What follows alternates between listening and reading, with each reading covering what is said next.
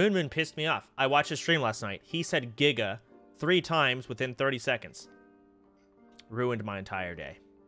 So, hate that guy.